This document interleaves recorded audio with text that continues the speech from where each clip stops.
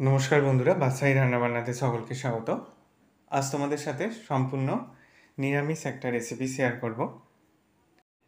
এটা অনেকটা মাছের মতো, দেখতে হয় একে। নিরামিষ মাছের রেসিপিও বলা যেতে পারে। বেশি কথা না বাড়িয়ে চলো রেসিপিটা শুরু করি। রেসিপিটা তৈরি করার জন্য আমি এখানে কাঁচকলা নিয়েছি দুটো। কাঁচকলা টুকরো করে কেটে নিয়েছি। এগুলোকে সিদ্ধ করে নেব। কাঁচকলা সিদ্ধ করে নিয়ে তারপর খোসাটাকে ছাড়াতে সুবিধা হয়, সেই জন্য আগে সিদ্ধ করে নিয়ে তারপর কাঁচকলার খোসাটাকে সহজেই ছাড়িয়ে নেওয়া যায়। দেখো আমি সিদ্ধ করে নিয়ে ছাড়িয়ে নিয়েছি। কাঁচকলাটাকে ম্যাশ করে নিতে হবে। এবার আমি অর্ধেক আলুকে সিদ্ধ করে নিয়েছি, সেটাকেও দিয়ে দিলাম একসাথে কাঁচকলা আর আলুটাকে।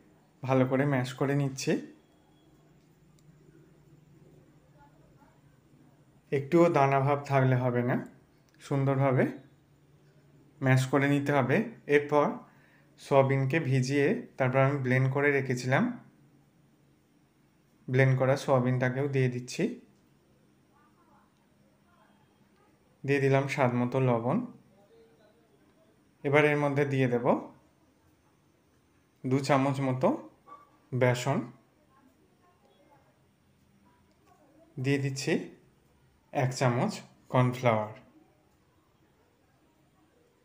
হলুদ গুঁড়ো, ধনে গুঁড়ো, জিরে গুঁড়ো, কাশ্মীরি লঙ্কা গুঁড়ো, এবার সমস্ত উপকরণকে একসাথে ভালো করে মেখে নিয়ে একটা ডোয়ের মতো তৈরি করে নিতে হবে। এই মিশ্রণের মাখাটা খুবই সফট হয়। তাই বুঝে শুনে ময়দা, কর্নফ্লাওয়ার অ্যাড করতে হবে। দেখো ডোটা মাখা হয়ে গেছে, এবার হাতে একটু তেল মেখে নিয়ে কিছু পরিমাণ আমি লেচির মতো কেটে নিলাম, তারপর এবার ডিম্বাকৃতি শেপ দিয়ে নেব।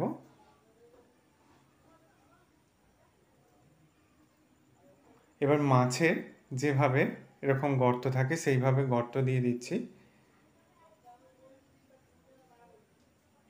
দেখো মাছের শেপ দিয়ে নিয়েছি, প্রত্যেকটা একইভাবে আমি মাছের শেপ দিয়ে নিয়েছি। কড়াই তেল গরম করে নিয়ে এইগুলোকে ভাজার জন্য দিয়ে দিচ্ছি। এর উপরে উপরে তেল দিতে থাকব। এক পিঠ ভাজা হয়ে গেলে অপর পিঠও ভেজে নিতে হবে। এগুলো ভাজা হতে থাক। ততক্ষণ পেস্টটা রেডি করে নিই। পেস্ট তৈরি করার জন্য টমেটো দিয়ে দিলাম। হাফ ইঞ্চি আদা দিয়ে দিচ্ছি সাদা তিল আর দিয়ে দেব চার মগজ। এটার একটা স্মুথ পেস্ট তৈরি করে নিতে হবে। দেখো পেস্টটা রেডি হয়ে গেছে। আর এদিকে এগুলো ভাজাও হয়ে গেছে। তুলে নিচ্ছি। একইভাবে প্রত্যেকটাকে ভেজে নিয়েছি। এবার বেঁচে থাকা তেল কিছুটা তুলে নিয়ে ওর মধ্যে জিরে, শুকনো লঙ্কার ফোড়ন দিয়ে দিলাম। দিয়ে দিলাম গোটা গরম মশলা, এলাচ, দারচিনি, লবঙ্গ, তারপর পেস্ট করা মশলাটাকে দিয়ে চার পাঁচ মিনিট সময় নিয়ে ভালো করে কষিয়ে নিতে হবে। তারপর মশলা থেকে তেল ছাড়তে শুরু করলে হলুদ গুঁড়ো, কাশ্মীরি লঙ্কা গুঁড়ো দিয়ে দিলাম। এবার দিয়ে দিচ্ছি ধনে গুঁড়ো, জিরে গুঁড়ো।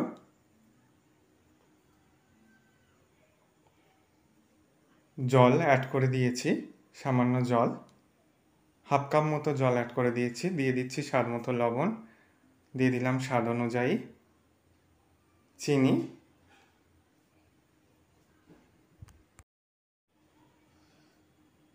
এটাকে মিনিট দুয়ের মতো ফুটিয়ে নেওয়ার পর তারপর ফ্যাটানো টক দই দুই চামচ দিয়ে দিচ্ছি। টক দইটা ভালো করে মিশিয়ে নিতে হবে। টক দইটা ভালো করে মেশানো হয়ে গেলে এবার ভেজে রাখা মাছের সেপ দিয়ে রাখা কাঁচকলার মণ্ডগুলোকে দিয়ে দিচ্ছি মশলার মধ্যে। সবগুলোকে দিয়ে দেওয়ার পর পাঁচ ছ মিনিট এটাকে রান্না করে নিতে হবে। এই নিরামিষ মাছের রেসিপি তোমরা চাইলে পেঁয়াজ, রসুন দিয়েও করতে পারো। আমার নিরামিষ মাছের রেসিপি রেডি হয়ে গেছে। গ্যাসের ফ্লেম অফ করে দিয়েছি। আশা করি রেসিপিটা তোমাদের ভালো লাগবে। ভালো লাগলে বন্ধুদের মধ্যে অনেক শেয়ার করো। লাইক কমেন্ট করতে ভুলো না। সকলে সাবধানে, সুস্থ থেকো। ভিডিওটা দেখার জন্য সকলকে ধন্যবাদ।